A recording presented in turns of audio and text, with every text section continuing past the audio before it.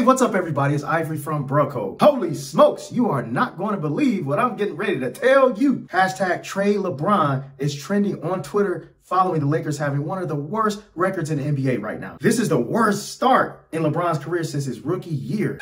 it's not like LeBron is getting a tremendous amount of help from his teammates outside of maybe Anthony Davis. And can LeBron really even count on Anthony Davis to be healthy? I call him Anthony Street Clothes Davis because he's always in street clothes. But that's the point. A lot of fans perhaps want to see LeBron go somewhere else so he can compete for a championship. Heck, trading LeBron might be even beneficial for the Lakers, especially since it looked like they're going to have a really bad season. And before I share with you the crazy Twitter reactions about the trade LeBron trend, and if you appreciate videos like this, it would sincerely mean a lot to me if you hit that like button and subscribe button if you haven't already done so. It's totally free. It just takes you a split second. And as a thank you, I will try my best to respond to all your comments, even the trolls. So thank you guys so much. All right, now let's get to those tweets. Some fans want LeBron to be traded to the Cavs for Darius Garland. Now, LeBron did say he was open to rejoining the Cavs again. So right now, it could be perfect timing. Just imagine with me here. How sweet would it be if LeBron James passed Kareem Abdul-Jabbar and won a championship in year 20? Man, that would be sick. Go King, go, go King, go King. man, it sounds good, but NBA fans, man, y'all y'all going wild. Y'all going crazy. This would never happen. Come on now, you know that. Now, other fans or LeBron haters, whatever you want to call them, they want LeBron gone from LA.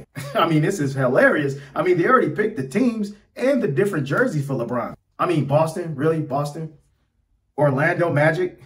Don't make me laugh on that. Now, how does this even work? Now, I get it. I get it. Some fans are playing the role of GM. They're, they're looking for what the Lakers could get for LeBron. They're pretty much playing the role of the GM. And on the other hand, some fans are just trolling and laughing at the whole trade LeBron chatter. And these same fans point out it's LeBron's fault as to the reasons why the Lakers are currently struggling right now. And despite all these crazy trade LeBron tweets, the Lakers can't even trade LeBron because of the contract extension he got in the offseason. Now, neither LeBron or the Lakers have said anything about a trade. But after another loss, LeBron went to Instagram, of all places, and posted a very, very cryptic message.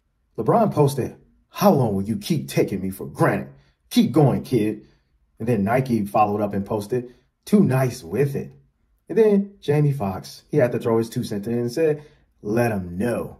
Then we have a Michael Jordan fan here. It says Michael Jordan was never 0-4. Now, LeBron, he didn't elaborate any further on the post, but it didn't take long for people to come up with their own theories on what the post actually really meant. Now, if you've been watching LeBron as much as I have, you know that every year LeBron pulls these kind of shenanigans. It's, it's pretty much normal.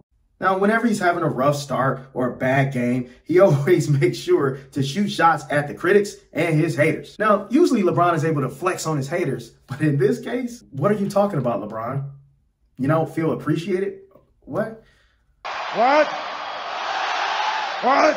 Now, if the Lakers don't find a way to fix this and turn things around, they may very well run the risk of wasting another valuable LeBron James year. And with that being said, LeBron and the Lakers, they just gonna have to make things work for the time being. Man, Lakers fan can only hope and be patient for the best, right? Guys, thank you so much for watching. As always, feel free to leave a comment below. Until next time.